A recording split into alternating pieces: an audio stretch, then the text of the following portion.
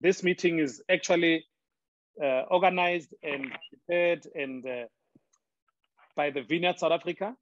And it is a crucial conversation that we feel we need to have uh, as a people, as a people of God and as a people of this country. So we welcome you in this conversation and we are hoping that you are going to have fun with us. Um, I'm just quickly going to read the guidelines on how we are going to engage tonight.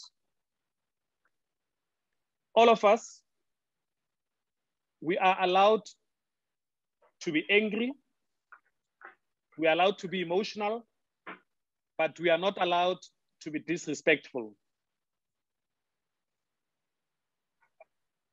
You are allowed to say what is in your heart, but you are not allowed to be unloving. You are allowed to disagree with the other people, but you are not allowed to dehumanize other individuals. During question and answer session, you can choose the following ways to engage. You can send a private message to myself, Paballo Thekiso. You'll see the name that will appear on your screens. Or you can choose to send a private message to another name on the participant list, which is Trevor Davis.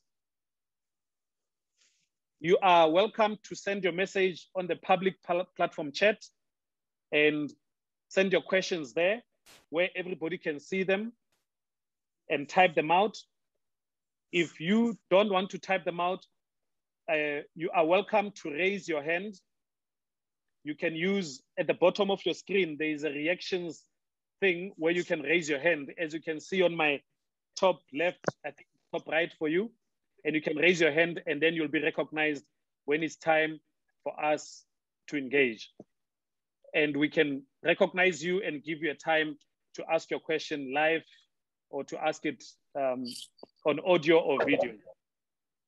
I hope those guidelines are all understood and all of us um, will be able to respect those. So Dr. Ziyanda, I'm just quickly going to open this conversation in prayer and then we'll get straight into it. Father God, we thank you for this opportunity to come together on this platform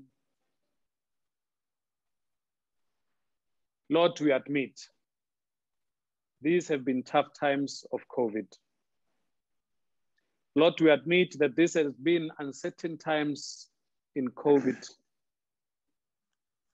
Lord, but we want to thank you that even in those tough and challenging times, you have never left us, you have never forsaken us, you have been with us up to this far. Mighty God, we mourn the lives that we've lost up to this far and we celebrate the lives, mighty God, that we still have today. So we give you glory and we thank you. Please be with us in this conversation this evening. Open our eyes to see, open our ears to hear, open our hearts to receive. Mighty God, I pray, may your love reign this evening. May your love reign this evening. In Jesus' name, amen. Just lastly, I'm going to ask for the last time, in case you joined us late, please mute your mics. If your mic is going to interfere with the conversation, I am going to remove you from this conversation. And I don't want to do that. So I'm asking for the last time, please mute your mics. Dr. Ziyanda, thank you so much for being with us here and for availing yourself. I need to explain as well that we had Dr. Jenny Durant, who was supposed to be with us this evening, and I received a message from her this afternoon that she's just tested positive for COVID and she has fever and a slight headache. And she felt that she wouldn't be at her best to join this conversation. So she has sent her apologies and she's with us in spirit. So please pray for Dr. Jenny that she said to me she knows because she has vaccinated fully and she has taken a booster. She knows that she, she will have mild symptoms, but for precaution's sake, she decided to stay at home and not join us this evening. So please pray for um, Dr. Jenny. But we have Dr. Ziyanda this evening, as I've introduced her earlier. And Doctor, I would like us to start with this question. Many of us are confused about these different variants that we are hearing about. Can you, in simple terms, in layman's terms, explain to us what is a variant and how does a variant develop? Is it really a man-made thing? What is really this thing? Because first we had the beta variant, then we had the delta variant, and now we are being told about the o Omicron or Omicron variant. So can you just in brief explain to us what a variant is, please?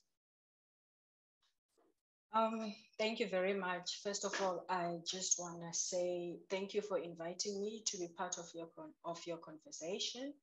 Um, I'm hoping that um, through this conversation, I can be able to um, answer any questions that may come and allay any fears that people might have. Um, where I don't know, I will say I do not know, and um, and that is because that um, COVID is, is a relatively new disease, and um, we are still learning a lot about it um, ourselves. Um, just to also say the reason why it's called COVID 19 is because um, it is a disease that is caused by coronavirus. Um, which was discovered in, in, in 2019. So the 19 day is for 2019. If it was discovered this year for the first time, it would be called COVID 21, but it's called COVID 19 for that reason. Um, now, to answer your question related to the variants, so um, all viruses mutate. Um, that's just their way of making sure that they survive. Viruses are organisms; they are part of the of the organism family. They are just smaller organisms. You even call them microorganisms and their their um, mandate, if I can call it that, is to survive. They want to survive, and they want to continue to survive. And um, and as as they as they continue to survive, in doing so, they multiply. Just like we humans, we multiply uh, in order to make sure our species continues, continues to survive. So the viruses also multiply, and as they multiply and occupy spaces within, within our, our bodies or whichever the host um, that, uh, that they, they have infected, um, as they multiply and occupy those spaces, they are met with um, the environment in that space. Um, they are met with the environment within our bodies that may not necessarily be um, uh, favorable to them. And so, in order to try and keep their survival, they will mutate. Mutating just basically means they they change. They they try uh, they try to find a way to change their their structure or, or, or to develop a, a, another protective layer to make sure that they survive. So all viruses do this. It's not unique to the COVID virus. All of the viruses do this. I like the way my colleague um, Jenny explained it uh, when we were talking about it earlier by saying that it's like um, when you as a, as a parent or as parents are, um, you have children, um, your children are not the same. You are multiplying through your children, but your children will not be the same. They will have different characteristics, and that's what mutations are, are different characteristics there's one one of your children may be a math genius another one may be good at sport another one may be artistic another one may not uh, like any of the things that you know I mentioned, maybe just good at taking care of other people. So um, they have different characteristics. So mutations are like different characteristics um, and also a way to, to, to, to protect, for the virus to protect themselves and ensure their own survival. Um, just to add that, uh, to give an example, um, we all have grown up knowing about flu. Flu, the normal flu that we all get, is caused by an influenza virus. The name of the virus, we call it influenza. Um, that particular virus mutates every single time. I'm sure you've heard that um, when we encourage um, the elderly and the very young ones to vaccinate against flu, we do it every single year. And the reason why we do it every single year is because the virus has mutated. And so um, we need to then adjust our vaccine for the flu to make sure that it is effective against the, the new variant of flu. So I hope um, that uh, explains the, the question about the variants. So doctor, just to be clear, are you saying that it is the same virus that changes character, that becomes a new thing? It's not something that is totally new that's coming from somewhere. It is something that exists that just changes character. Is that what you are saying? That is correct. That that is correct. It changes its its its characteristics. It's it modifies its characteristics as it's trying to survive within a, a different or hostile environment. And when sure. you when when we talk about um, the you know I'm sure you've heard a, a lot during this um, Omicron fiasco. You've heard a lot of people talking about sequencing um, is, is to try and understand those different characteristics. And through that sequencing process, they can be able to see that it is still the same virus because it has got some of the characteristics of the original variant, but it has also has different characteristics that it has modified in order to survive a particular environment and continue thriving. Hmm. Sure. Yeah, that's very interesting to hear because um, we hear that there's a new variant. One minute we hear some, before we heard there was Delta that came from India, and then another variant that came from another country. And we never understand how they are developed. So it's good to hear from you as a specialist how these things work, you know? Now, doctor. Um, I think I think that the naming of the variants is to just make it easy for the the the, the everyday normal people to to know that we have a different variant instead of using the scientific names that are there. So um, um, so so all of these variants they're called delta omicron beta alpha they actually have scientific names based on the different mutations or characteristics that have been found. But it is much more easier to give it a certain name, not because um, of anything other than to make it easy to understand that we are dealing with a, a, different variants. The same applies with the influenza virus that I talked about that causes flu. Um, it has got the, the different variants of it have got different names, scientific names. We just mm. have never been in a situation where we, we, we even have to then give them different uh, uh, lay, lay, lay, lay, layman's terms to it. So we just keep the term uh, flu because everybody just understands flu. But in the background, we know today uh, this year we are do, dealing with H1N3 vi uh, viral strain, and then the next time we are dealing with H1N7. Those are scientific names of the, the different variants of the same flu virus, which is influenza. Sure, that is actually very helpful um, for us to understand, um, Doctor, because um, many of us have been wondering, as I said earlier, how all of these things work. But now, doctor, here is a funny but serious question. In South Africa, we've had uh, local municipal elections recently.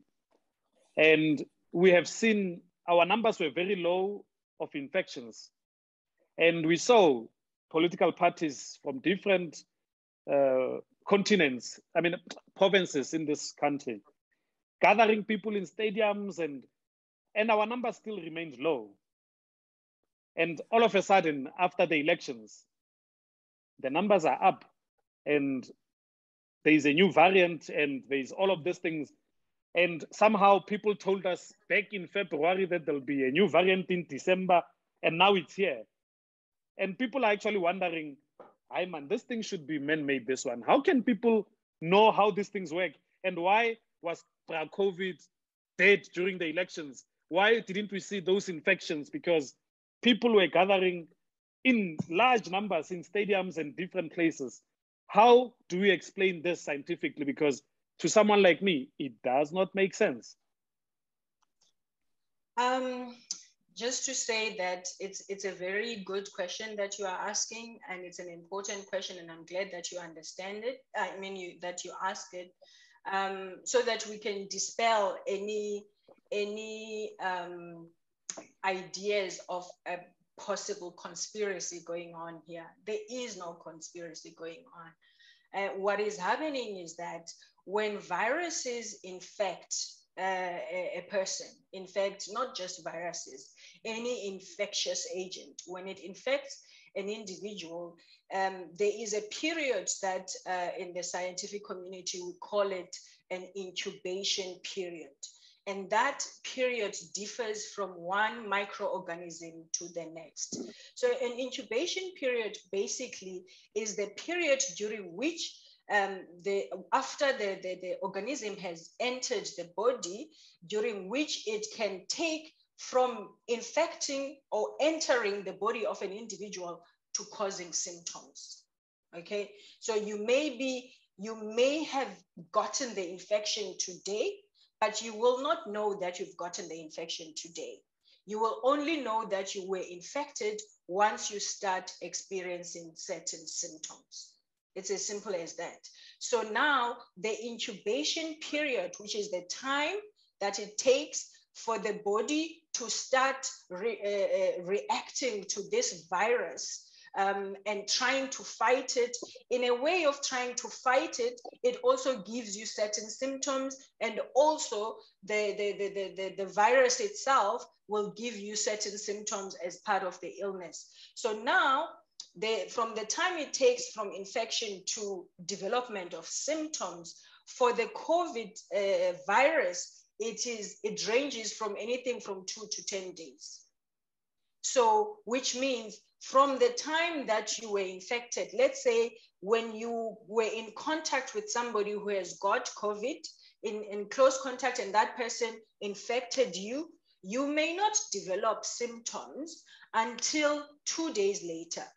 And also depending on on your own immune system and your own internal characteristics as an individual some people may not develop symptoms until 10 days later so that's why we say the incubation period is anything from 2 to 10 days. So that's why then when um, for example during the riots in, in, in KZN and a bit in Gauteng we already knew that uh, after the riots, we will see an uptick in, in cases in, in, in those regions. Because when people were rioting, they, they were not observing social distancing. They were in close proximity to each other and therefore increasing the chances of infecting each other. So the same applies with um, the, the elections uh, during the, the, the, the, election campaigning bit close to the, uh, the, the actual elections and during the elections themselves, people were not observing social distancing and therefore they were probably infecting each other at that time, but they would not know that they are infected until two to 10 days later. And only then, when people have symptoms, do they go for a test.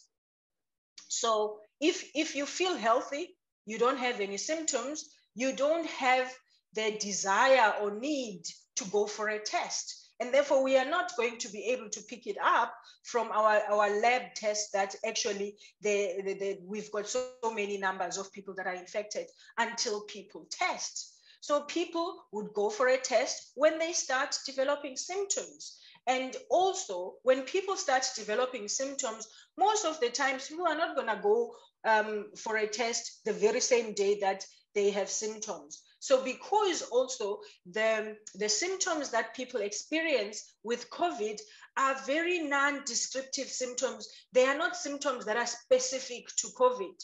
So for example, some people would experience a fever. How many diseases causes fever?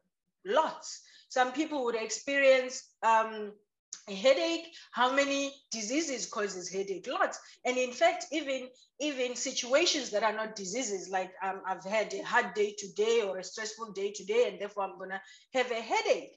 Um, and and because i have this headache and it's nothing unique i'm not gonna go for a test immediately.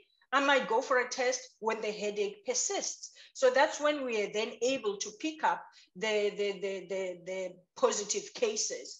And and it just so happens that the positive cases will also be picked up way after the elections because of the incubation period and the time it takes for people to go for a test. Sure. Thank you so much, Doctor. That, that actually helps. Um, so what I'm hearing you say is that one, there's an incubation time that people take before they go for tests. So because the elections were like two, three weeks ago, if I understand you well, some of these spikes that we are seeing, you suggesting that it might be from those times when people were infecting each other and reinfecting each other, and then we're seeing a spike later because of incubation time. And therefore, yes. how do we? And therefore, doctor, how do we explain scientifically how people can predict when there will be another wave? We've been waiting for this wave, and we thought it's a high. This COVID thing is ending, and now Indeed, we have see, we're seeing another wave. Can you just explain to us scientifically how that works? Um, it's observing patterns. It's observing patterns, understanding human behavior, and also understanding the patterns of the, the virus gene, the virus's journey, if I can call it that. So I, I can give you an example. Um, uh, in last year, a friend of mine was um, going to get married. And and he in fact no not uh, yes and then they made um, the wedding date to be somewhere in june. Um, I, I, I kept quiet and i didn't say much about it. And then in the when we were um, when we saw this the, the the second wave in december last year we saw the second wave and then the second wave ended around January, end of January. And so in February, the wedding is supposed to be in June this year. In February, I thought, I can't sit on this. I must tell my friends so that they can do something about it. I said to him, um, we are likely to have another wave in June. So I wouldn't have a wedding in June if I were you. Um, and don't have a wedding in December either. Maybe have a wedding in October. That was my suggestion. Um, and and and then I kept on uh, giving him the the pro the you know the stats as they come. You know, as we're watching the cases go down and or up, I kept sending him. So come May, the, the wedding was had to be cancelled because in June we were in the middle of a third wave um, we were starting a third wave in June. So the wedding had to be cancelled and they had a wedding in October. Now, the reason I was able to meet that prediction, I must just say that the ability to make certain th those predictions is only by the, the, the, the, the certain types of scientists that are specialized in that field um, because it involves observing patterns, it involves uh, understanding human behavior, it involves understanding the, the, the, behavior of the virus. It also involves having um, the ability to use statistics uh, to make predictions. I am not one of those specialized people, okay? But I was able to make that prediction based on understanding people's behavior, based on understanding, um, uh, following the patterns. And, and so, um, because I understood that what happened in December last year was uh, when, when the second wave started, it was uh, triggered by congregations. Um, and I'm not talking uh, church congregations, I'm just talking about people congregating. It was triggered by people coming together in large numbers, congregating, specifically um, the matriculants that went out somewhere in Durban and had matric dances, and even in Cape Town, matriculants going out partying end of the year and whatever. Now, the, the challenge is at that time, young people specifically, they had a laissez faire kind of attitude to say, but um, it, it, doesn't affect me. Young people don't die for this from this disease. But the challenge is the young people still get infected and bring the infections home. So when I observe that, they bring the infections home and they bring them to their families and friends and neighbors. So when I observed what happened in December, I was able to then predict that we are likely to have a third wave in during our winter period because that's when we again keep ourselves indoors. It's cold. We want to keep ourselves indoors and we are even close to each other. We do not have a lot of ventilation going on. So the chances of us uh, infecting each other are higher. Now, again, for the December, my prediction is because in December, that's when we want to congregate and, and have um, ceremonies, joyous ceremonies, not so joyous ceremonies. That's what when we congregate together as, as communities. And because we do that, it's hot. Yes, there's good enough ventilation because some of the stuff um, we may be doing it outside and we're opening our windows and doors but if we if if we observe what is happening in some of our communities when it's hot no one cares to wear a mask although everybody knows they should be wearing a mask. Because people are not sick they do not feel sick um, they go around uh, uh, thinking they they can just not wear a mask. And in the process um, when you are in that party in that bright area in that wedding, in that funeral, you are busy infecting each other. So the predictions are based on that. It's not because someone has planned for it that it must happen in December again so that we can close the country down. No, no one wants to close the country down. Hey, doctor, you know, these things that you guys explain from science and predictions, to lay people like us, they become difficult. But thank you for that explanation because even though I'm not a doctor, I think I can understand what you've just explained. Now, doctor, before I open the floor for questions, we, we're talking about vaccines. And uh, these vaccines have caused lots of problems for all of us because we don't know what to believe one minute we are told it's going to protect us from this virus. One minute we are told, no, you are being infected with a chip. One minute we are told lots of stories. But now, doctor, for some people who've taken the vaccine, they thought they were now protected from this virus. But now, because there's a new variant, the question now becomes do we need another vaccine for this new variant, or those who've taken the vaccine and they're fully vaccinated right now are fully protected from this new variant? And what is this? While you answer that, please explain this new thing that we are hearing about called boosters. Why do we need boosters? So please just help us understand this process of this vaccine. And again, people believe it's just a money making scheme and the way things are going, we thought by now would have been done with this thing. But now every time there's a new variant, it sounds like there's another vaccine, there's a booster. What is this um, vaccine and how does it actually work, doctor? Okay, so in terms, I'm, I'm gonna try and start with the booster uh, to answer the booster part first, and and I'll work I'll work my way backwards. Um, having boosters in vaccines is not a new thing. Um, I, I'm sure uh, many of you who have children know about the, the vaccine schedule for kids from the time they are born until the age of 12. You know about that. And if you look at that vaccine schedule, it starts off with polio as soon as the baby comes out. Uh, the baby is taken to the little area with a lamp and a warm little bed and cleaned up and given an, oral, an, an, an oral polio, uh, uh, polio vaccine.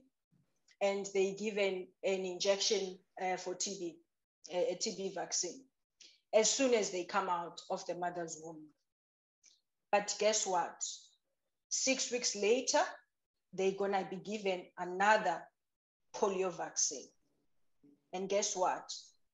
12 weeks later, they're going to be given another polio vaccine. And if you look at that schedule, there's many vaccines. Um, I'm not gonna remember all of them.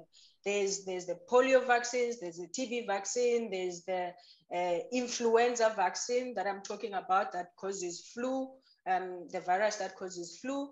There is the, the, the diphtheria vaccine. There's a lot of uh, vaccines that are used to protect children against diseases. And if you look at that schedule, you will see that up until the age of 18 months, specifically, children are receiving more or less the same type of vaccines from the day they are born to the, the, the time they are 18 months. And it's, it's, it's different um, doses and some of them being boosters. And when they're five years old, they again get a tetanus booster. It's a booster. So boosters are not a new thing. Um, and then at 12 years old, we now give them the HPV vaccine. So just to explain again that boosters are not something new. Now, why boosters? The reason why people, uh, uh, vaccines have got boosters is number one, when you're giving a vaccine, right? The vaccine is supposed to uh, trigger an immune response in, in, in your body so that when you actually get the infection, your immune response, your immunity is aware recognizes this thing um, that I think the immune, the, your immunity will say, I think we've seen this before, but they may not have seen the actual virus. They saw the vaccine. So the immune, the immune system is I think I've seen this before. So um, I know how to deal with it because the, the immune system has already developed an attack mechanism. And therefore, the individual doesn't get sick or the sickness that they get does not get severe. Now, what happens with some vaccines is that, eh, in fact, with most vaccines, the, the immunity wins over time, which means it gets less and less over time, hence needing a second dose or hence needing a booster. All most vaccines are like that. Um, I think um, the, the, the one that doesn't have many boosters um, I think the yellow fever vaccine, if my memory serves me well, when you get a yellow fever vaccine, it will tell you will be told you will have to come back for um, the, another the, the next vaccine for yellow fever again in 10 years time.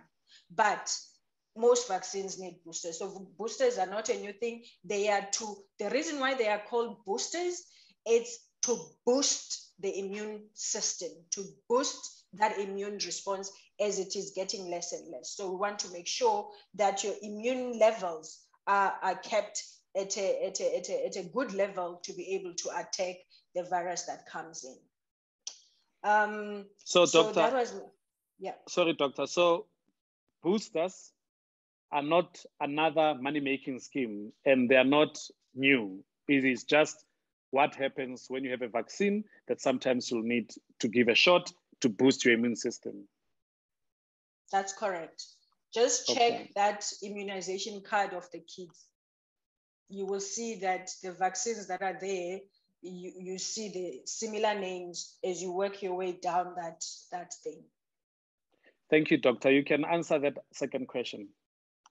Uh, remind me again what was the second um, the second question was whether we are protected from the Johnson and Johnson and the Pfizer when we are fully vaccinated. Okay, um, so you were asking whether the Johnson and Johnson and the Pfizer's protect against Omicron. Hmm. Uh, the quick answer is we do not know yet. We discovered this Omicron variant last week. We are still studying it. Um, there are concerns that have been raised, and the concerns that have been raised was that because of the mutations, the different characteristics that are in this Omicron variant uh, that are different to the other variants that we've had, um, to which the vaccines were developed to act against, because there's different mutations or those different characteristics, there is concerns that uh, our current vaccines may not be as effective uh, against Omicron, but we do not know yet. We are still studying that. Um, secondly, they, there are some studies that are currently underway, and the ones that are currently underway so far, they have indicated that uh, uh, Omicron does not escape vaccine protection. What I mean by that is that so far they've indicated that um, the, the vaccine that people have received is still protecting them against uh, Omicron, but it's too early to tell. Sure. So it's still too early to tell, but for now, those who are fully vaccinated can be assured for now that they are still protected from the virus. Yes, those, those who are fully vaccinated can still be assured. You must remember that just because we have Omicron doesn't mean Delta has gone. Mm. It doesn't mean the other variants have gone, right? Um, and so uh, we might be having, we, we are having a situation of uh, variants, different variants of the same virus that are competing um, for space in our bodies. So mm. our best protection right now is to vaccinate each other and uh, ourselves and to ensure that we continue to observe those uh, uh, um, um, those those those safety precautions. That that is the only bet we've got. We don't have another bet. Um, as more information becomes available then more information will be shared. And the reason why South Africa, you know, uh, we have been criticized and, and as well as um, uh, praised for reporting on the vaccine, on the variant uh, uh as we discover it. Uh, but one, one of those reasons is of doing so is to make sure that we can study it as quickly as possible. You will realize that once the variant was detected in South Africa, I want, I want to emphasize detected. It does not mean it originated in South Africa. We don't know where it originated from. And I don't think it even matters where it originated from. Um, so it was detected in South Africa because of the scientists continually um, uh, start studying the, the, the, samples that are coming in, trying to understand uh, more about this, this, this, this virus. And so once it was detected, other countries around the world started using the same um, methodology or similar methodology to try and study their samples to see if they can detect Omicron in the samples that they have. As we're talking right now, Omicron has been detected uh, in many countries. And while they are doing that, they are also trying to study uh, um, whether this variant is going to is, is more transmissible, which means it infects more people than the previous variants, um, whether this variant is going to cause severe disease um, compared to other variants, whether this variant is gonna uh, cause more death compared to other variants, and whether this, this variant um, can can still um, be managed with the current vaccines. So now, because we detected it and we reported it, uh, we reported on it early. We have got multiple countries and multiple scientists around the world trying to understand and to be able, if there is a need to come up with a new vaccine, to come up with a new vaccine. If there is a need to adjust the currently existing vaccines, to adjust the currently existing vaccines. Hmm. Sure. Sure, that sounds like a, that sounds like a lot to understand from a layman's point of view. But thank you so much for for that, and uh, we we appreciate that answer, Doctor. I, I want to believe that we have a lot of people who have so many questions and so many comments, and they want to know and have you know we want to engage. So I'm about to open the floor for for an engagement. A quick reminder: we are allowed to engage openly. We are not allowed to disrespect each other. We are allowed to disagree, but we are not allowed to be unloving. So as we are entering this time of question and answers, please remember,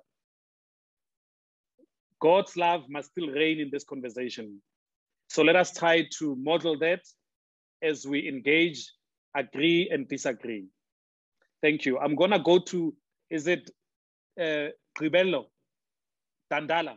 Uh, Gribello Dandala, please unmute yes, that's yourself. Correct. Yes, please unmute yourself and ask the doctor the question. Oh, okay. Um, firstly, uh, Dr. Z, thank you so much for for your presentation. You've certainly made this whole thing a lot more easy for us lay people to understand. So my question um, has to do with what you were saying now um, with om, om, Omicron, if I'm saying it correctly. So if we simply detected it, okay, looking at how the world has responded, um, the way that we, we, we, reported it, is that how it all the other variants have been reported? And by that I mean, when they were detected, were they detected and analyzed before they were announced, or were they detected, communicated, and only thereafter the assessments um, on them done and the analysis on them done? And the reason I'm asking is because, you know, the way the world has responded, it's, it's kind of like a chicken and egg situation now where you're kind of saying, all right, so we've got the ability to detect this. So do we keep, do we analyze and keep quiet as a country? And then speak once we've got some kind of analysis and better understanding?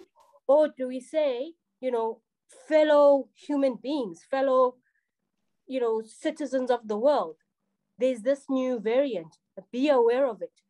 Um, let's all dig in and, and figure out what it means without these punitive measures, which for all intents and purposes have befallen South Africa and our neighboring countries.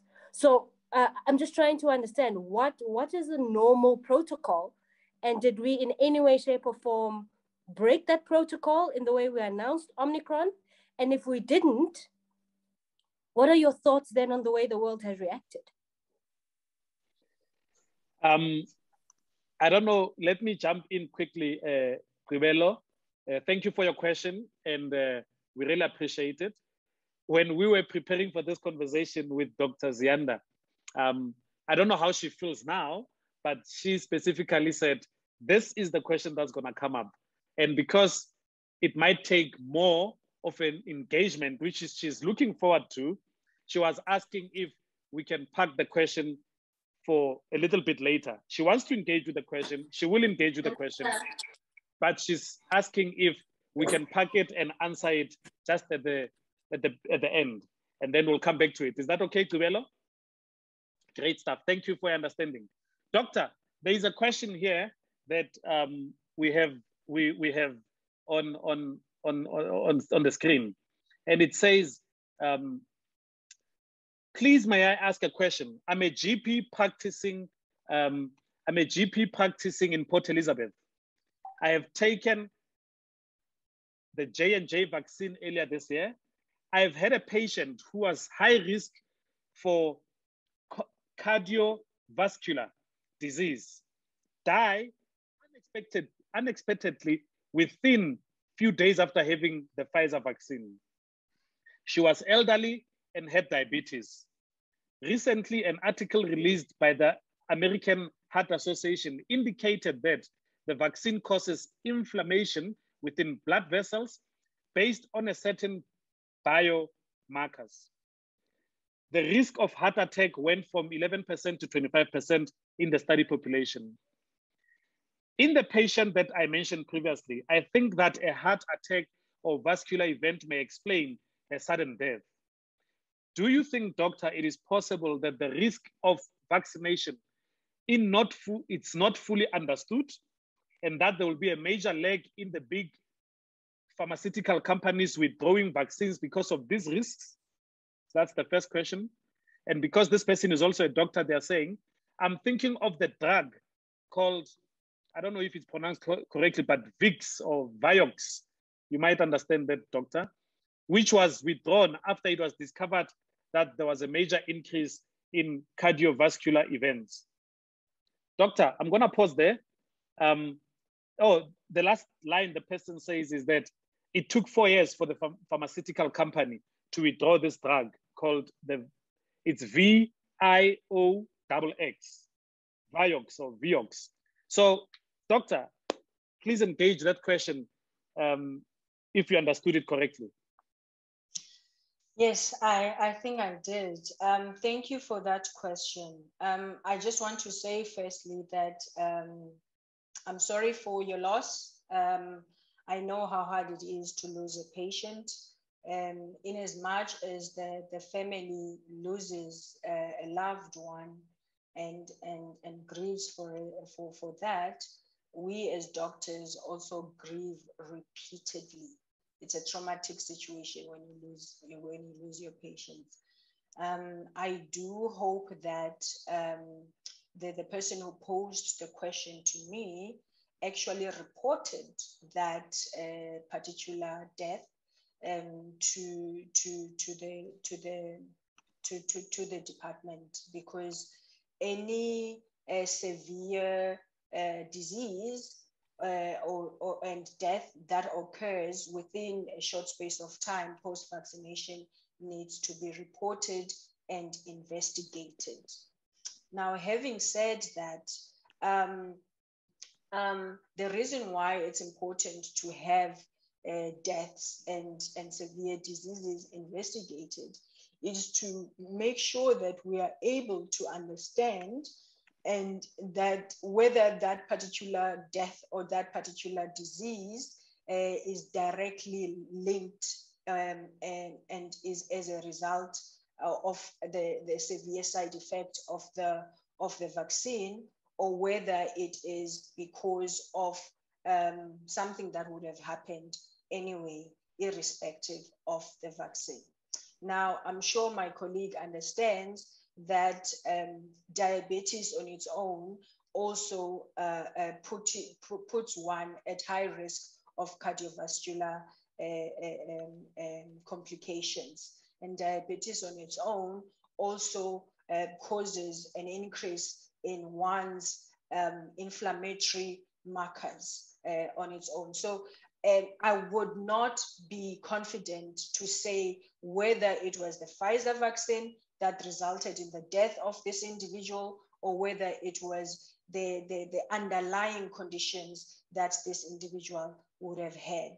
Now, having said that, um, I want to uh, indicate that there is no medication in the world that doesn't have side effects. All medications that we take have side effects. Even Panado has side effects. Um, and, and, and some medication can have severe side effects, other medication can have a, a, a minor side effects. Um, one of the severe side effects of Panado, for example, is, is, is liver damage. But we take Panado every single time. We give it to our kids every single time because of weighing the risk of um, getting that severe side effect versus the risk of suffering from the condition that you are not treating with available medication. So yes, the risks are there, but um, the question is the risks that are there, how severe are they, and what are the what are the probabilities or the chances of getting those severe risks that do happen?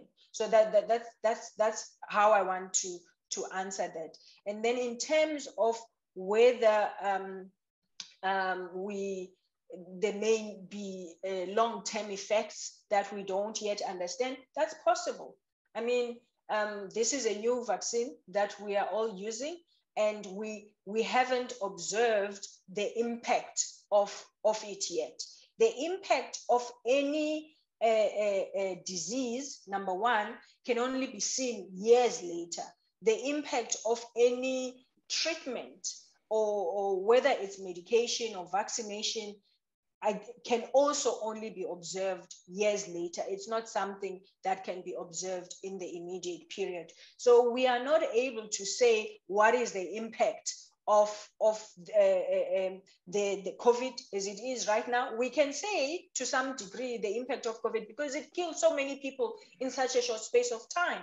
Um, but we, we can't say what is the impact of the vaccines at the present moment because um, apart from knowing that the vaccines uh, reduce the, the chances of, of, of, of um, getting severely ill and they, and they reduce the chances of being uh, of dying from COVID. But in terms of the long-term effects, that's what I mean. In terms of the long-term effects of the vaccines, we can't say because we, we don't have long term to refer to.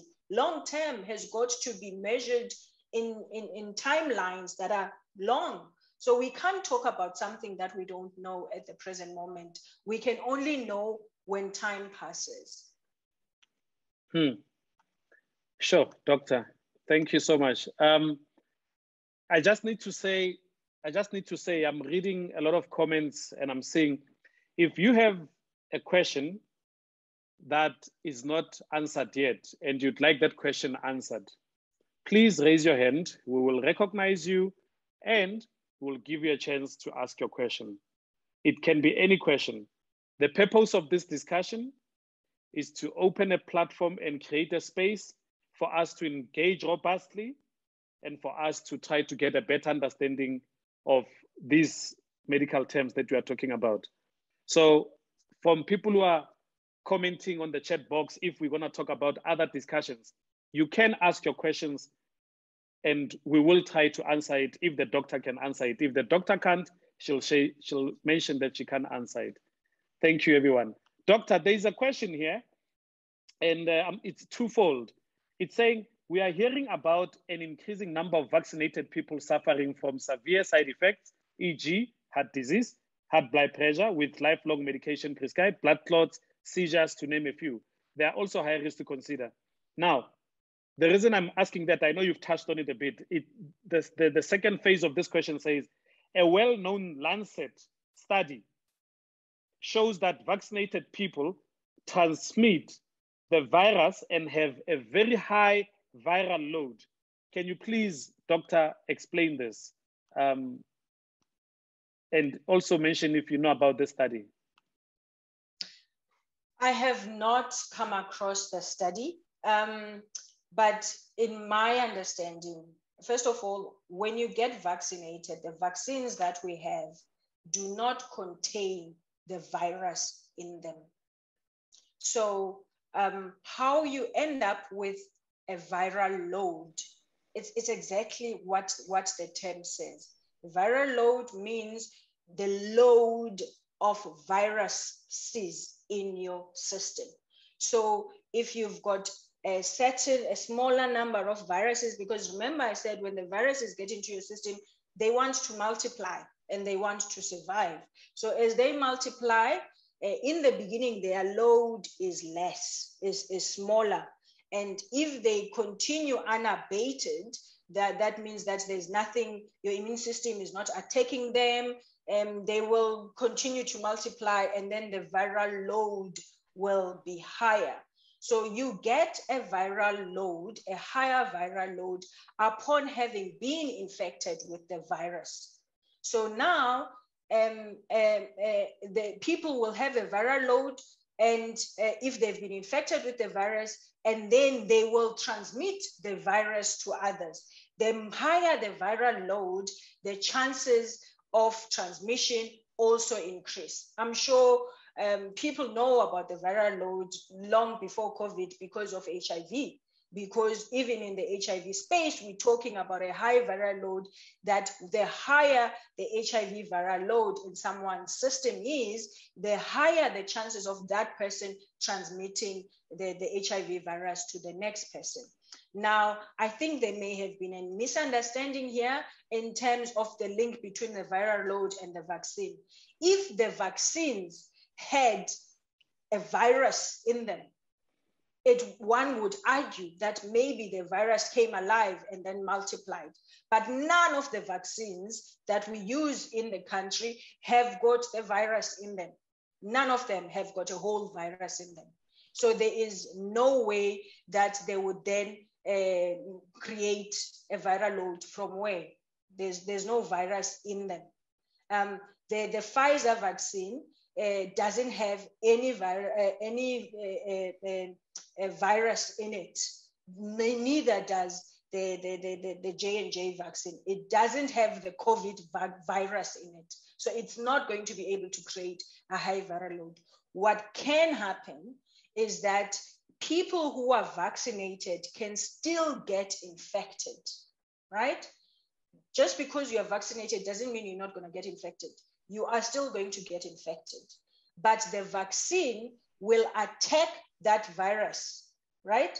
The vaccine will attack the virus. In fact, it's your immune system that attacks the virus because the vaccine has done its work in your immune system so that your your army, your, your, your immune army is ready when the virus comes and can attack the virus as quickly as possible.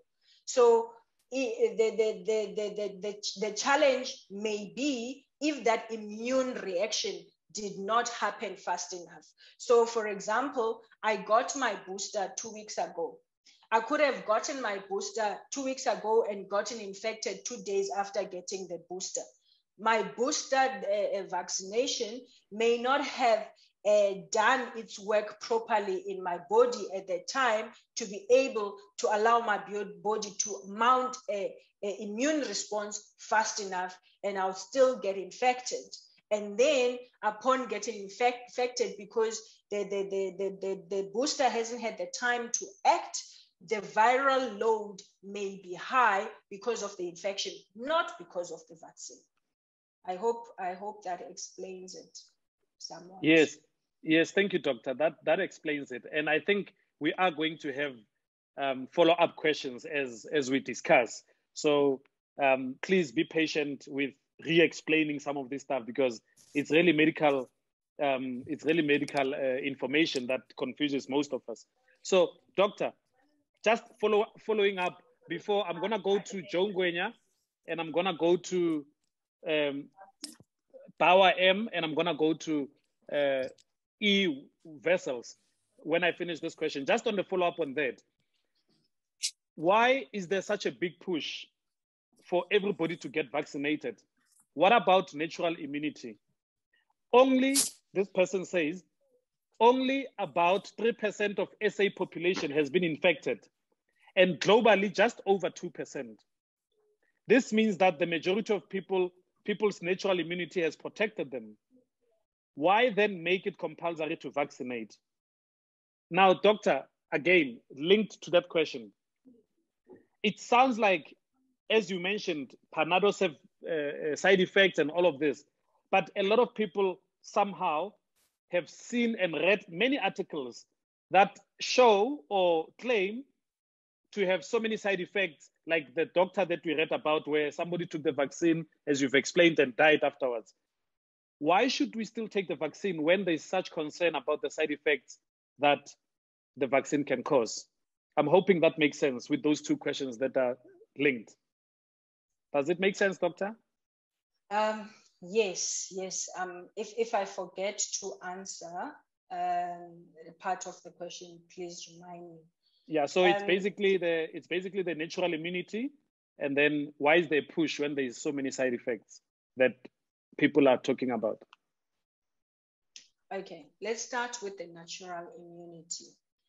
Um, we've only been able to eliminate diseases um, and eradicate some diseases in the world through vaccination. One of those diseases that has been eliminated or um, in, in our country um, is polio. Uh, some of you may be old enough to remember the effects of polio on, on, on, on people.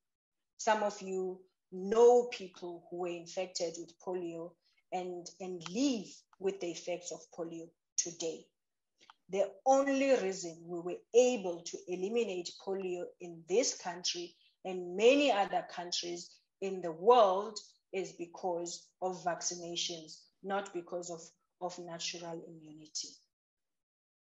So, so that's one of the reasons why we are pushing vaccination. The second reason why we are pushing vaccination is because um, if natural immunity was doing an excellent job, we would not today be um, uh, reporting 3 million people that would have died, that have died in this country in, in, in less than two years. 3 million people having died because of one particular condition in this country. You know, um, uh, it's, it's very easy to talk about percentages, you know, uh, 2%, 3%. But if we put that in context, put that 2% and actually say the numbers. If 3 million people in 18 months, 3 million people have died in 18 months just from COVID. Now, we have other people that have died from other conditions, which means that the people that have died in this country is, a lot of people. Second to that, we have people that have not died, that have been infected by COVID, that remain with a, a, a incapacity because of the long-term effects of COVID. We've got we we've coined a syndrome called long COVID, which has got long-term effects, which uh, of COVID, which talks about the long-term effects of COVID. We don't know how how those people will continue their day-to-day activities in the long term with those long-term effects of COVID and, and what's going to happen to them in terms of their um, living or mortality thereof. So um, I think we need to put that in context, and that's just in South Africa alone. Um, they, bearing in mind that the 3 million that we're talking about is actually people that we know have died from COVID because they've been tested. There are other people that have died from COVID, but are not counted as COVID deaths because those they, they, they were never tested. But we are able to tell that uh, it is likely that those people have died from COVID because we are able to estimate what would have been the expected death toll in South Africa uh, in, in 2020 without COVID. If we continued with all the other causes of death as they were, the expected death toll was this much. But we have a we have a significant higher death toll than we had in previous years and than anticipated. And the only other addition to the mix is COVID. Bearing in mind also that people's movements have been limited by COVID. So, so people who might have died from car accidents, from violence, and from other diseases uh, and are, are, are, alive because they, their, their movements are limited. But that gap of a, a higher percentage or higher numbers of people having died but not counted as COVID is can be attributed to COVID because of our uh, uh, estimations and predictions. So I think um, in answering that in terms of why are we pushing for vaccines is because we want to save people's lives. Why, the question is, um, uh, uh, why are we pushing for vaccines when we don't know the long-term effects of the vaccine? I think that was the second part of the question. Mm-hmm. All of those vaccines that you have on your children's charts, we didn't know the long-term effects of them when they were started being used. What we did know when, when vaccine research is being done, we want to check for safety. Is it safe? And we want to check uh, um, uh, for the for the you know for the dosage that needs to be used. So we want to make sure that it is safe and the, the, the, that that it it it it achieves what it sets out to achieve. It, it's safe and effective. That's what we search for whenever we're doing uh, vaccine research. We do not know the long-term effects of any drug until there is a long term. That's just the reality of the situation. None of those vaccines in your children's charts, we knew the long-term effects of. We can talk about their safety and we can talk about their effectiveness.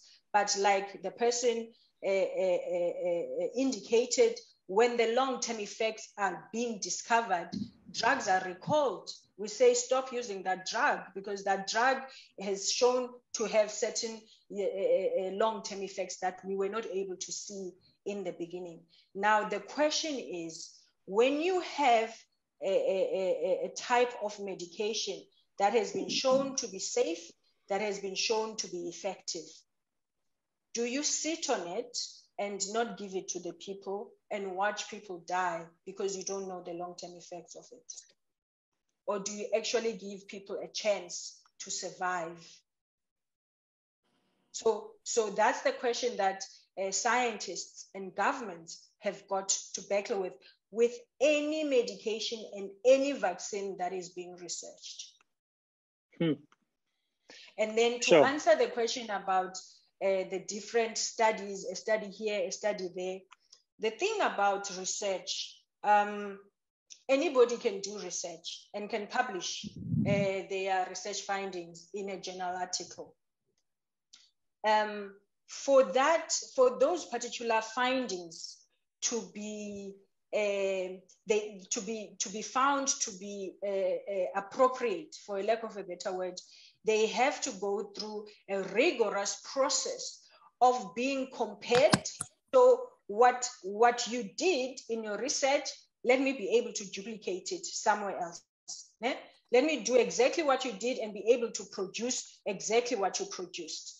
Number two, um, if if you have got multiple people having done research and have the same kind of findings, then only then can we say, yes, that paper that was saying that in Lancet uh, uh, was saying the, the, the, truth thing. Because um, uh, there may have been, you know, challenges with um, how the research was done, and it might not produce the results that it was supposed to produce, or it produces different results, or it even produces wrong results. So now we cannot uh, uh, change things based on one study. And we also cannot make conclusions about anything based on one study. One study can shed a light, but then we need to do more of the similar kind of studies in order to be able to confirm or reject those findings. Sure.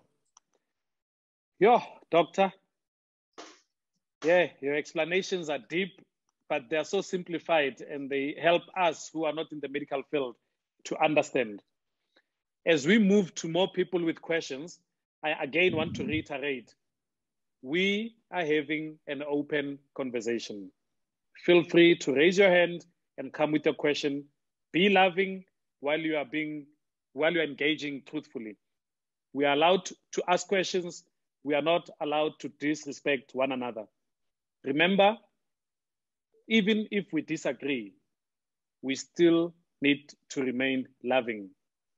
Joe Ngwenya, are you still with us? Um, I want to give you an option first because I saw your hand was up first, and then I'll move you. I'll move Grigory. We see your hand. M Bauer, we see your hand. E Wessels, we see your hand. Um, that Joe Ngwenya, are you still with us? Joe, are you still with us? Yes, I'm still here, but I'm thought that I did send a message that I'm okay now. Thank you. Okay, thank you, thank you, uh, thank you, Joe. Uh, let's move. Let's move um, to M Bauer. I think he was first to raise your hand. Oh no, is it? Okay, I think um, uh, Egbert Wessels has uh, shown her screen. So let's go to her first. Welcome. Thank you. Hi, hello. My name is Simona. I'm Egbert's wife using his computer.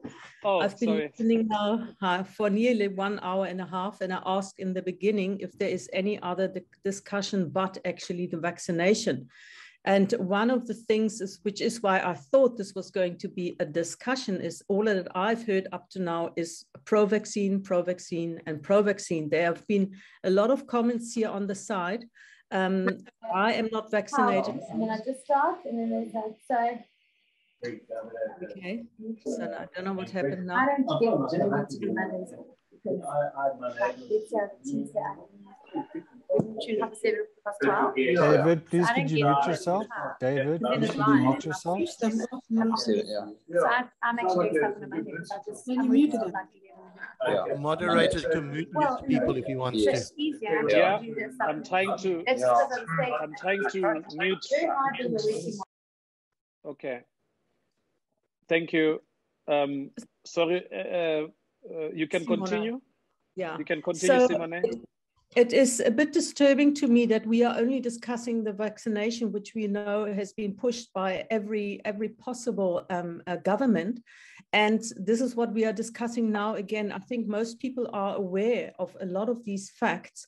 I would like to know why we're not talking about alternative medicines. We have been treating ourselves prophylactically, alternatively for a year, for yeah, nearly a year. We not, neither of us hadn't got, gotten COVID. And I have personally, I've worked in a research department in Berlin and in Germany for 10 years. We, we were protein chemistry, we did um, um, medicines, and it took 10 years to create something like this. So now that the world is pushing for this vaccination, come rain, come shine, I find it very frightening. And um, so I, I, I thought this was going to be a much bigger bouquet than just vaccination, vaccination, let's get vaccination, even though we don't know the side effects. There and, and so much data that hasn't come through. If you Google, uh, could there be possible side effects? Uh, if I put that into Google, I will only get government information. So if I want to have other information, I need to find ways to, to get to people that have done research. For example, ivermectin hasn't been mentioned once tonight, which has been used widely in this country and has saved many, many lives. There are ivermectin consultants that treat people. There are things, um, basic things, and we haven't spoken about it. So for one and a half hours, all that we have done is talk about the vaccination, which I personally will never take. My concern is but and this is my concern. I don't know. I think see there are others that are also are other-minded, and I prayed over this for a very long time. I couldn't get peace over it. I've lost Bible studies over it. I've lost friends over it. I didn't have peace in my heart about it. I was ready to go, and then I got actually the first um, the first video that I saw was by Dr. Robert Malone. Um, who is the um, co-inventor of the um, um, mRNA uh, vaccine. So this his talk convinced me to not get vaccinated. His his own talk and the one the first things that he says is the, the what you do not do is during a pandemic you don't start vaccinating everybody. So I, I think there is so much miscommunication and it's so censored uh, on Facebook on social media what is being put out there. It's all fear based messages that are wanting to get us to get vaccinated. And I'm absolutely against this.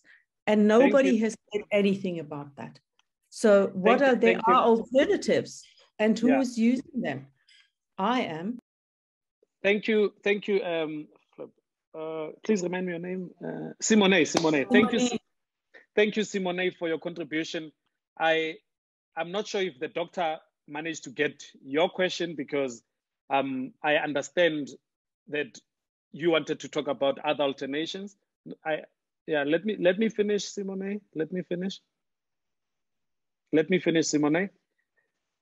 So I think, um, Doctor, I'm going to ask other people to ask their questions, and then maybe if you can remember, you can answer question in batches. Is that fine?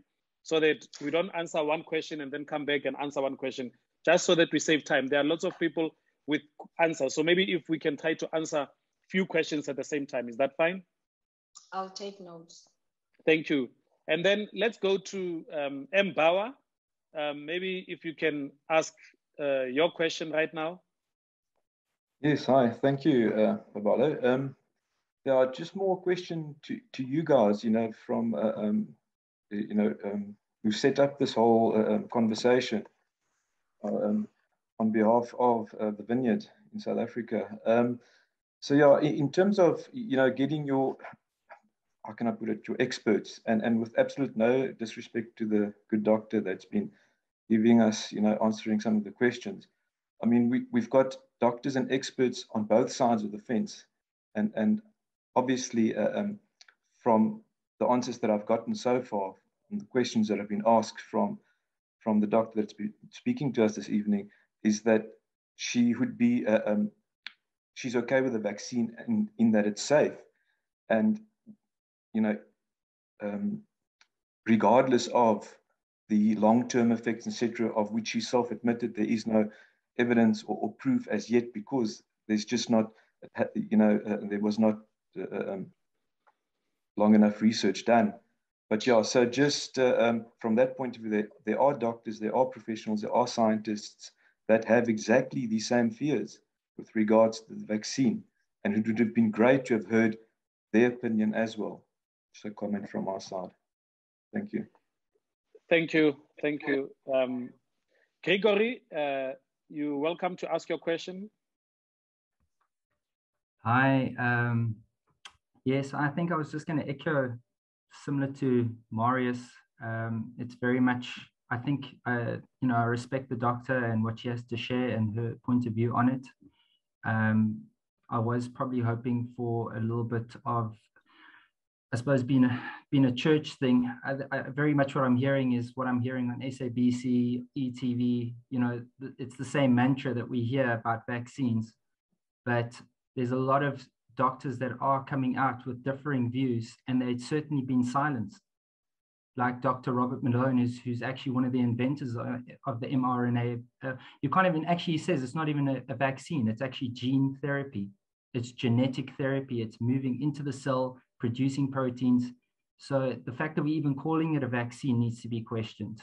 Um, and so I think it's more a question to the leadership of us having a more a more open debate, both spiritually. What do we what what does this mean spiritually um, for us as Christians through the lens of Scripture, through the lens of um, you know our faith, and many within the church that I, I know are discerning something very amiss with what's going on, with the way it's been pushed by governments, and how, for example, the Gibraltar is 100% vaccinated, and they are currently having an outbreak. They have closed the country down. I don't know what the doctor, if the doctor's aware of it. I'm also aware of the FIFA, there's 108 FIFA registered FIFA players that have died of heart attacks over the past six months. And it is the one uh, presenter tried to explain this on the thing and he was shut down and closed off so he couldn't share. So i think my question is why is there only one narrative and why are the doctors that are coming out with differing views being shut down i suppose a bit of a statement as well but yes thank you gregory we appreciate your question um, let's go to gloria um, gloria are you still here Yes, hello. Um, my name is actually Inga. Somehow I got the wrong name. I am South African and I live. Thank you, thank you. I, I'm a South African, but I live in Canada, and I have been here for two and a half years through this um, pandemic. And I just like to make a couple of points. that I've just been listening in, and uh, we are, I think, a little bit down the road as far as the rollout of the vaccine goes, we are now vaccinating five to 11 year olds. And um, I am no, by no means an anti vaxxer. But I think that we need to, to, I just want to echo what some of the others have been saying. I think that we have to have a very um, clear understanding of what we're dealing with. This is, in fact, not a vaccine. Um, it is mRNA gene therapy, as the previous uh, speaker uh, highlighted. And I wanted to just say a couple of things as a pastor living in um, Canada. We have found that there's been a gross violation of biblical ethics that have taken place in our country here. And many other countries are following suit. And biblical ethics 101 says that we have to give people freedom of choice. People choose to follow Christ. It's a freedom from God. And, and what is happening here is that people's freedoms have been taken away completely. We are now having church services where vaccine passports are mandatory. And, and there are churches here that, and pastors here that are having to stand up against this. And um, I have family members that are vaccinated. I myself have chosen not to be vaccinated because I believe I have the freedom of choice. And the other problem with is there's no informed consent. There is no, nobody is liable for the damage that will take place in your body if you have been vaccinated. My husband has had heart issues after the vaccination, after his first vaccination. He has been forced to take it because of a job. And there is there are serious problems with what, what is happening. And and I, I think we have to be very careful to, to push this vaccine mandate um, and coerce people into this, especially in the church. And, and I am grieved at, at how many pastors and leaders are not um, giving people that, that freedom of choice. And so, um, as the previous speaker said, there are many scientists and doctors. We have doctors currently in our town here who are not vaccinating, and they are very much against these mandates um, and this coercion from the government. So, I think the church is in a very crucial crucial place. And we as leaders have to be very careful about how we walk this out. Um, yeah. So that's all I wanted to add. Thank you. Thank you. Um, thank you, Inga, for that contribution. Yes. Um, so, Doctor, before I before I go to you, um, can I just speak from a, from a pastoral point of view, um, since we've organized this as the Vineyard?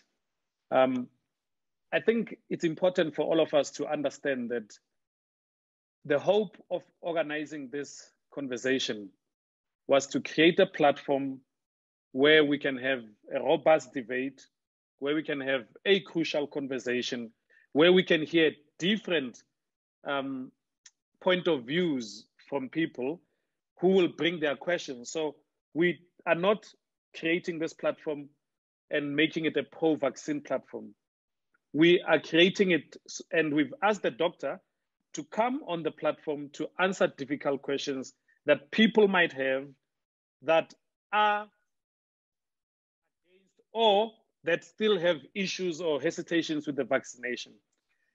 Yes, it is valid that we should have had other doctors who share different view. At our disposal, we had Dr. Ziyanda Vundle, who offered her time to come be with us. And we are hoping that people who share a different view can come on this platform like they have come and they can ask their questions, they can debate their points, and the doctor can help us understand from that perspective. So, in my view, it is happening. People are sharing their different point of views, and we are going to give the doctor a chance to respond. It is not a for or against thing. It is an open conversation for us to robustly have a discussion. And I'm hoping by that, we are not creating a, a dialogue. I'm just responding from a vineyard point of view and saying we are learning as we do these things. And hopefully in future, we will be able to find contacts of other people and create another platform where we can engage more. Doctor, I hope you've, you've seen some of the questions and you've heard some of the questions. Can you please uh, respond to some of the stuff people have said? Thank you. Um, I think that the, the few speakers that have just uh, spoken just now um, were actually posing comments rather than questions. And comments posed um, at, at the church's leadership more than uh, questions posed at, at myself. But I'm going to try and um, uh, respond to some of those comments from my own point of view. Firstly, I want to reiterate that I'm not here representing government. I am not talking on behalf of government. I am here because I was asked and I volunteered to come in my own personal time, in my own personal capacity. So this is not the mouthpiece of government talking. This is a medical scientist talking, a medical specialist talking uh, in her own personal capacity. Having said that, I do um, acknowledge and respect uh, uh, other people's opinions, even in my own family for that matter. If I'm not about to, to push people, to force people to do what they do not want to do. All I can do is to provide them with the information as I know it and as I have in my own uh, uh, disposal. That's all I can do. Having said that, I am not trained in alternative medicine. I cannot talk about alternative medicine.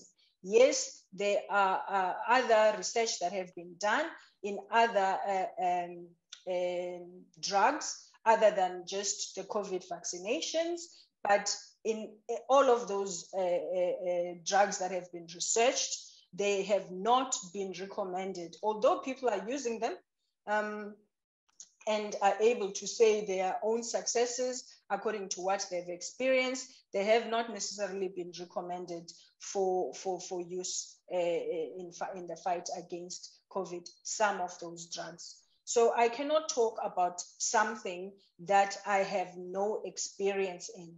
And I cannot be promoting something that I have no experience in. All I can promote is what I know and what I myself have used. Uh, I have been vaccinated. I have not experienced severe side effects. Having said that, it's not to say that the people who have experienced severe side effects, I'm not nullifying that. Their, their, their experiences are their experiences and their experiences are valid. And I do hope that those, those people's uh, experiences have been investigated and, and, and the response has been appropriate. Secondly, I cannot talk about the spiritual lens. I, I am not a, a, a, I am not an authority on, on the Bible and the spiritual matters. So I cannot talk to that. I, I'm, I won't be able to, to respond to that. So I think that's that's all I can say in those comments because there were comments, not so much as questions. I, I encourage robust discussion and people having differing opinions. And my opinion and my knowledge and experience is just one individual's opinion and one individual's knowledge and experience. Well, thanks, Doctor. Thanks for that. We appreciate that point of view. And Doctor, I think right now it is maybe time for us to move to uh, Pribello's uh, question that we said will push towards the end regarding how South Africa was trying to be responsible and how the world has responded to South Africa and other countries. Are you, do you think you are ready to maybe respond to that question? Um, can, can you ask the question again? Um, question um, was that, wasn't it, if I remember correctly, if Ribello is still with us, but the question was, wasn't it the responsible thing for South Africa to do to respond or to announce the variant found in the country? And what's your thoughts on how the international world has responded to, to our announcing of this variant? And um, what else did she ask? I think I think that was the gist of her question, if I'm not mistaken. Yes, no, that's correct. So it is really around the, yes, I am. It was really around the issue of protocol to say, did we break any kind of protocol in how we announced um, the discovery of this new variant? Um, because looking at the response that we've had, uh, it, it feels almost as if we broke some kind of protocol or should we maybe have waited until we understood it a little better before then going to the world? And is that standard practice? Okay, thank you very much, Tabelo. So um, we've had many, uh, many variants with COVID and uh, across the world. And, and, and many of these variants have been detected in other countries in the world and not necessarily detected in South Africa. We've only had two variants detected in South Africa. Remember what I also said that uh, South Africa detects does not necessarily mean it originated here. The very first variant, which we then termed uh, alpha, um, was detected in Wuhan in China. Um, now, in terms of uh, the communication about that variant, um, the, the, the Cabello asked whether at what point should countries communicate? Should they communicate uh, once they know everything about the virus or should they communicate uh, early on? Um, and Cabello also asked um, how other countries communicated the variants. Um, I can talk about the very first variant, um, its communication. Um, that very first variant was communicated uh, when it already spread to other countries, unfortunately. Um, and it was communicated when, um, when, when the scientists that discovered it um, had already started to study it to see what it does, what symptoms it causes, um, and have started to do some research in terms of it uh, uh, to find a vaccine for it. Now, um, was that wrong for, for them to wait until that point? All right.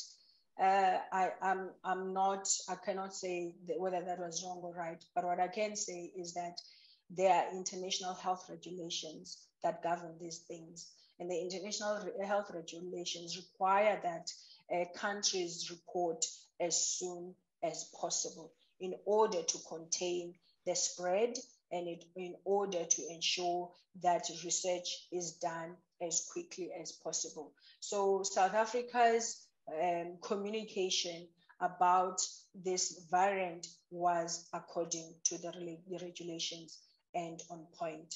I can't speak about the other countries and the other countries know uh, better about their communication strategies with uh, regards to the variants.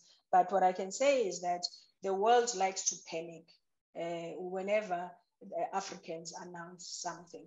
Um, it, it's it's a it's a it's I, don't know what to call it, but they, they like um, to panic quite a lot and create um, let's close off Africa kind of situation.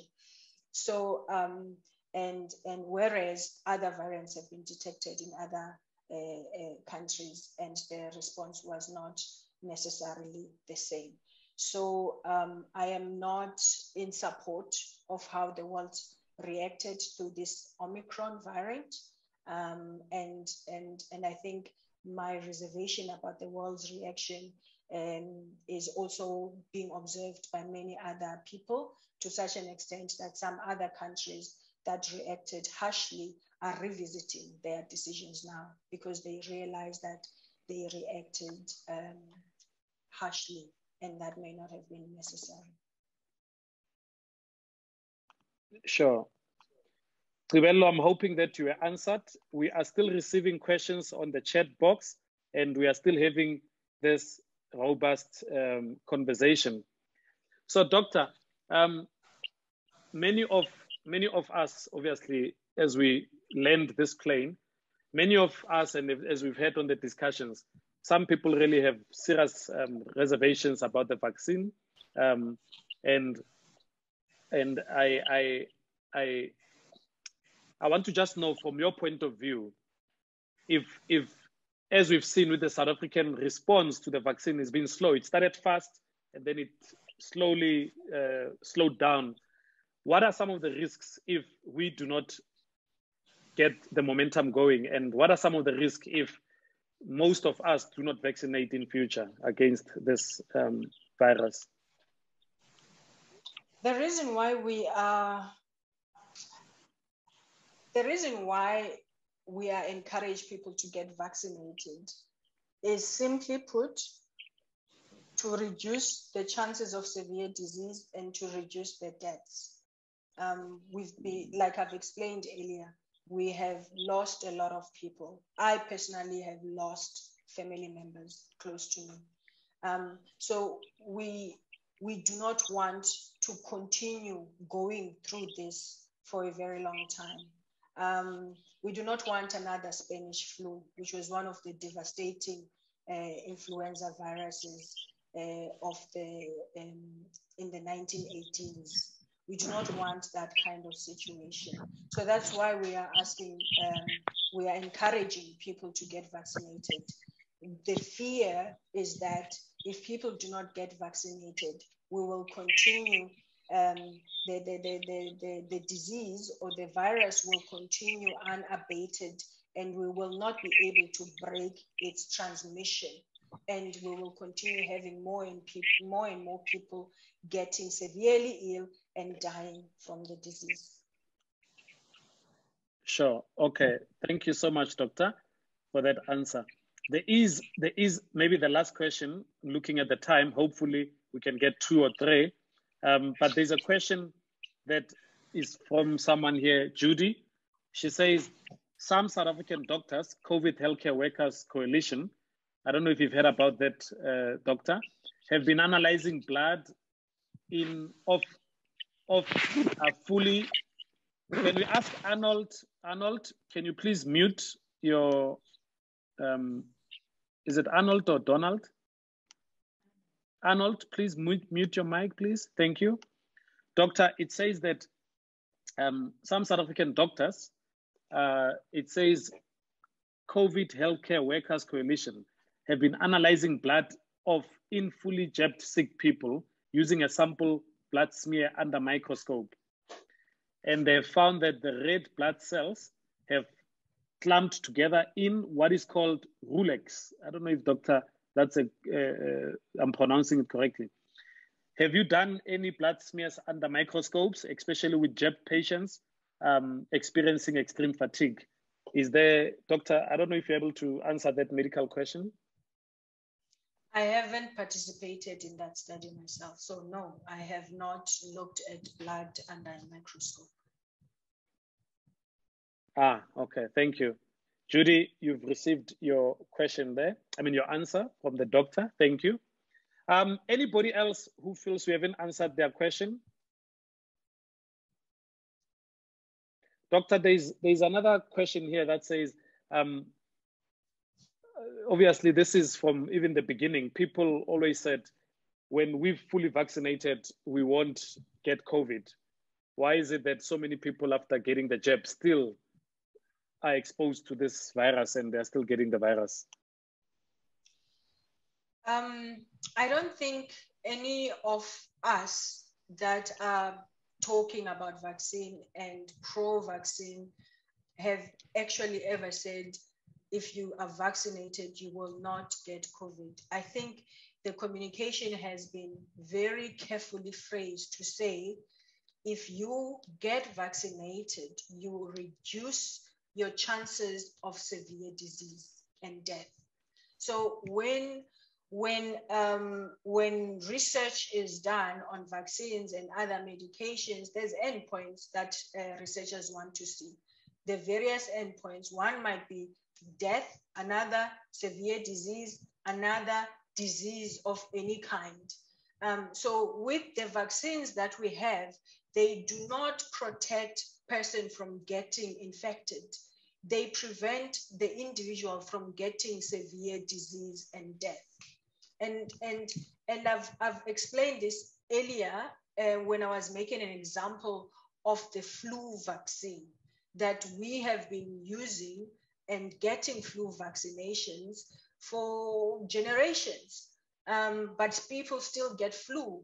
And especially when we've got a new flu uh, virus variant, people still get flu. But we do not hear about people dying from, from flu as, as much um, if they are vaccinated. Because the, the, the reason why we vaccinate, especially the very young and the very old, we vaccinate them from flu is to prevent them from dying of flu. So the same applies with the COVID vaccine is to prevent people from dying or getting severely ill because of the infection. It's not to say they will not get infected.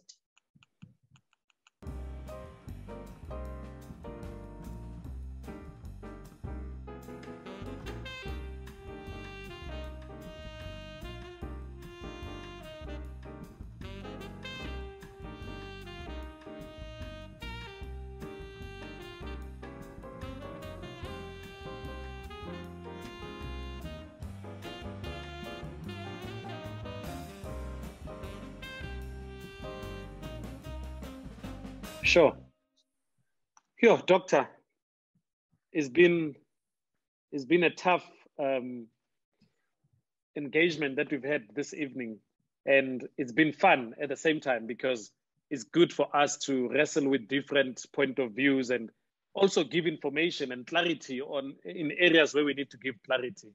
So I think again to respect people's times and also just to make sure that we we, we, we end on time, we want to say we are not going to be able to respond to every question that has been asked because of limitations of time, but we are hoping to continue to have this robust, crucial conversations about how we respond, especially as believers, to these um, uh, uh, daily struggles that we find, because today can be COVID and next week it will be something else.